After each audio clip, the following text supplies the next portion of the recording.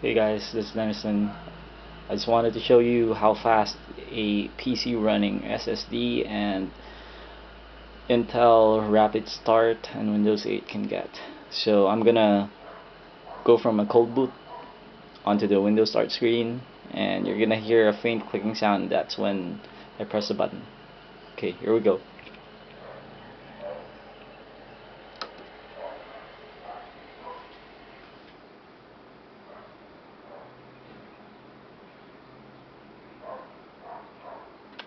Okay.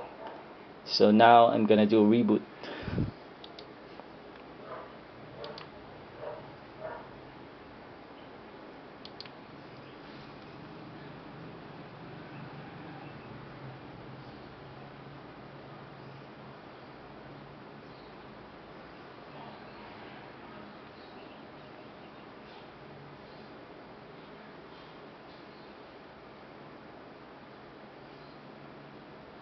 Next, I'm gonna do a shutdown.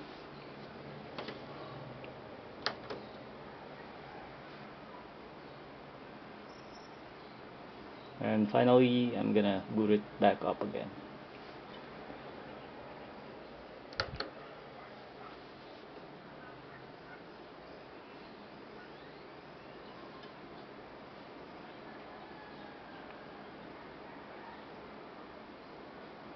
Alright, thanks for watching.